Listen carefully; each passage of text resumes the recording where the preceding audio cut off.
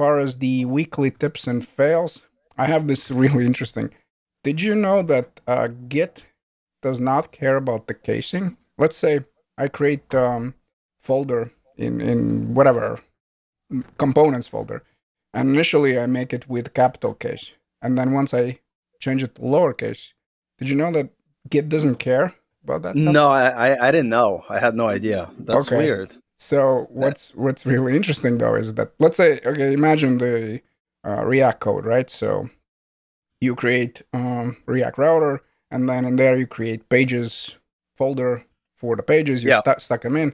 You get them in app.js, and you go with let's say whatever uppercase first, and then at the very end you change it to lowercase. Now all is fa- fine and dandy, but the thing is, uh, when you push this up to the GitHub and let's say it goes to Netlify, your code is changing when let's say you change the import from uppercase to lowercase in your code, right? So let's say if you switch the name, you you, you do that. Otherwise, Yeah, yeah, yeah, yeah, yeah. You have, yeah, right. So, but since Git does not care about that, when the code arrives at Netlify, Netlify throws the error where it says, "Hey, look, you know, you didn't like. I mean, I'm looking for this folder and I cannot find it." And Oh I spent I, another again. It wasn't too bad because I kind of right away went to research. But this this was one of those weird ones where you're like, okay, listen, it just worked a minute ago. It works locally. Everything is fine. And it Right. simply doesn't work because Git does not care. And I like the fact that in the official Netlify blog, instead of uh, just making it really difficult, the solution is very straightforward. Remove the folder, commit the changes. So then Git basically is going to push it without the folder. Then obviously rename the folder as well, or keep it if you already Yeah. rename it, and then just put it back. That's there's no like you know. no. Obviously you can you can go with some weird Git commands, but they're like, look, this is the fastest one. Just, and I'm like, this is on the official Netlify blog, and I'm like, yeah, oh. that's funny. so That's funny. yeah, that, that that's for me. Is if you so if you're changing folder names, be very careful if you have the continuous deployment where you know your code will change, but Git does not care about the folders. That, that's for me. What about you? Any hot tips? Well, I have like two now that I think about. It. Like one is like as you mentioned, me coding live on my uh, stream. So last stream I was coding live, and I wrote the code, and in it was correct with a minor mistake. Um, and I was like, literally was stuck and couldn't figure out what I was doing. And it was basically, you know how you sometimes pass your config and it's an object, and that object has a bunch of things. Yep. So the thing that I should have, the second thing that I needed to add should have been inside that same object, but I put it outside of the object. But to me on screen, because I was so tired, it all looked the same. And so I literally spent an hour being like, why the hell this is not working? Why it's not throwing like a crazy error? And everybody's like, you got it. And I'm like, I'm doing the thing. Ah, what the hell? But sometimes it's like super silly stuff. So I keep coming back to this thing, walk away and come back to it tomorrow with a fresh set of eyes. Because as soon as I opened the code, like the next day, I was like, oh my God, I spent an hour on this. Are you kidding me? that was so embarrassing. So that's number one. And number two, like, like because um at my job where I'm working, you know, I'm working with like certain like specific technologies, is like GraphQL, Strapi, React, whatever it is, and sometimes like you get these uh, questions or assignments that you even yourself don't know how to do. And so what happens is I end up kind of have to take a break and research the topic and figure it out. And so what I started doing preemptively now, it's like, okay, at work, I really have to be familiar with like GraphQL and the way it uh, interacts with React or Strapi. Like, and Strapi is a big one for me. Um, so every day I just read the Strapi documentation for an hour based on the thing that I'm trying to do at work.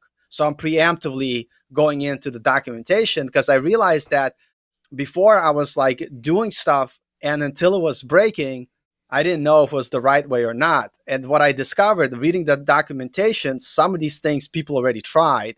And so they'll show you some of the gotchas that you might have. So I basically, my new thing now, when I wake up and have my coffee for like an hour, I'll just read something specific to my work in terms of learning and studying. And it's been helping me tremendously. Um, and also, you're constantly learning.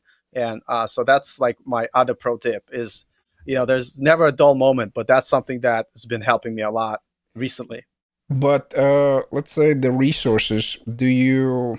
I mean, you obviously already know kind of what you're working on, but do you use like you search for blogs? Do you just Yeah, yeah. yeah blogs? So, Yeah, so I'll I'll search like literally the topic, and I'll start at the documentation, and then I also have another tab open where I'll look at blogs, and I kind of like cross reference or see like you know kind of help me to get bigger context of what like I'm doing in the documentation. Yeah, so searching like Stack Overflow blogs and um and the documentations, and rarely what I do, like I don't watch videos at all because watching a video like like I want my hour to be productive, and it's just way easier to skim through text and get to the point. Where with, with a video, it's very difficult to do.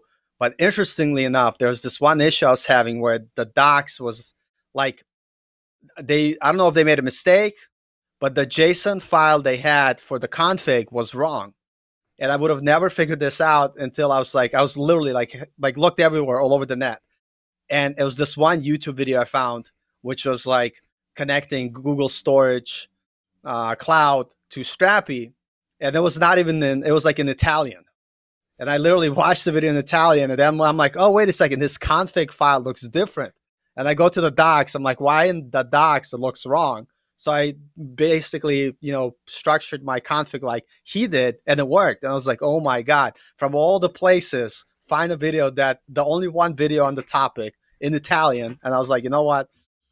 good good it got me the answer I definitely would have wouldn't have went down the rabbit hole. If I would have seen that uh, it's in Italian, I probably would have never like even went. I, I just stumbled on it i stumbled on it i was just like oh this doesn't sound like english but i was already committed you know so And actually, to add your to your first point, this is like very interesting for me. Like, I can honestly say that each and every time when I decide to skip my lunch, let's say to fix, you know, as I'm working on something, or stay up later to fix something, every time, hundred percent, I regret that because every time, like, I cannot solve it in like, let's say those, let's say I skip a lunch and then I work for those next two three hours, whatever. And the moment I go down and start, like, let's say playing with my daughter, I'm like.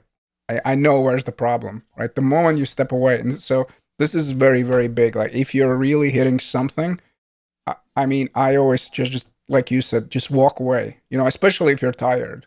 You know, because you'll have you're already you're just kind of hitting all the you know like dead ends, and and it's not really productive. So I definitely, definitely uh, agree with that point.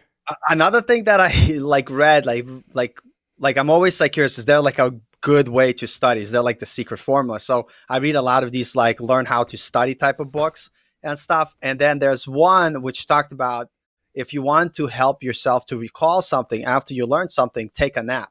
So obviously i'm not going to take a nap in the middle of the day but what i just started to do i started reading a little bit like for 15 20 minutes right before i go to sleep and what's interesting, not all the time, sometimes I'll actually dream about code, which is weird. But the next day I wake up, like I feel like I thought about it in my sleep. It's like it's like I when I think of it, I think it like like my understanding seems to make more sense. And I don't know like how much truth is it in it. I'm sure there's something to it because there were studies done about this. But I was like, oh, like let me.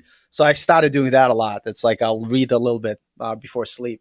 As, as Yeah. far as what I've read in productivity books, it's because brain basically you let the brain do the work for you. So instead Perfect. of you know pushing that, then I know that my wife went basically her that's her approach of studying. She uh she always like she does it in the evening where she's like reading, reading, and then she goes to sleep. And she says that she like Nice. she went through the nursing school with with all, and she she that's her like kind of approach. So I definitely can attest to that. That uh, it's not for me because I'm usually as I'm reading I fall asleep. So Yeah. I need to be kind of very careful with that. But in general, that that that that is a very good approach.